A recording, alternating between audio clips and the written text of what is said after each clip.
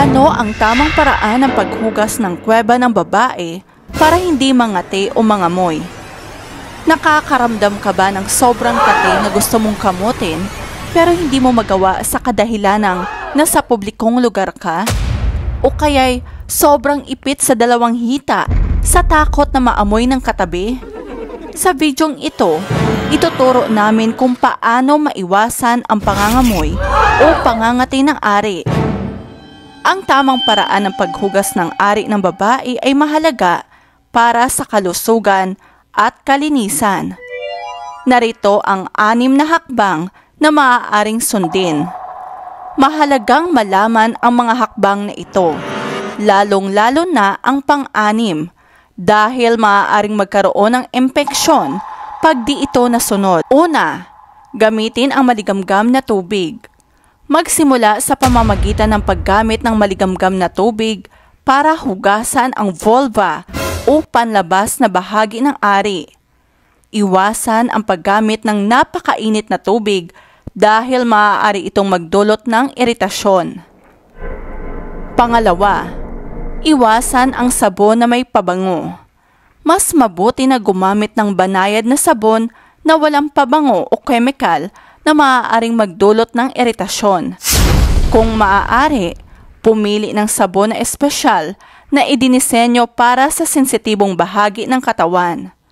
Huwag gumamit ng sabon sa loob ng ari dahil maaari itong makagambala sa natural na pH balance at maging sanhi ng impeksyon. Pangatlo, banayad na paglinis. Gamitin ang iyong kamay para dahan-dahang linisin ang paligid ng vulva. Iwasan ang matinding pagkuskos na maaaring magdulot ng iritasyon. Pang-apat, hugasan mula harap hanggang likod. Mahalagang hugasan mula sa harap patungo sa likod upang maiwasan ang pagkalat ng bakterya mula sa puwet papunta sa ari. Panglima, pagpatuyo ng ari. Ang mga basang paligid ng ari ay mabilis dapuan at kumalat ang mga bakterya. Dahil dito, maaaring magtaas ng panganib na magkaroon ng yeast infection at paglago ng mga bakterya.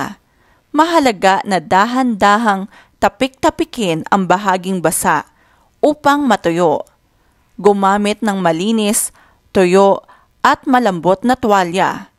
Nakakatulong ito upang mabawasan ang pagiging moist ng balat nang di nagdudulot ng iritasyon. At ang pang-anim, regular na pagpapalit ng napkin o panty liner. Mahalaga ang regular na pagpapalit ng sanitary pad, panty liner o tampon upang maiwasan ang pagdami ng bakterya at yeast para hindi kulob at di pagpapawisan ang ari. Ang hindi pagpapalit ng mga ito sa loob ng ilang oras ay maaaring magdulot ng hindi ka nais-nais na amoy at maaari ring malaki ang tsansang magkakaroon ng mga impeksyon.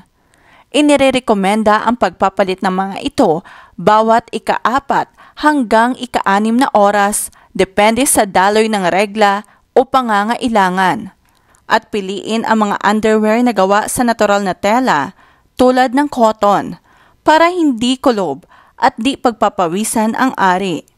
Kung may nararamdaman kang hindi pangkaraniwang sintomas tulad ng pangangati, pagsusugat o hindi karaniwang lumalabas na likido sa ari, mainam na kumonsulta sa doktor para sa angkop na payo at paggamot. Para sa karamihan ng mga kaso ng bacterial vaginosis at yeast infection, ang standard na paggamot ay ang paggamit ng antibiotics na iniinom o ginagamit bilang vaginal cream o gel.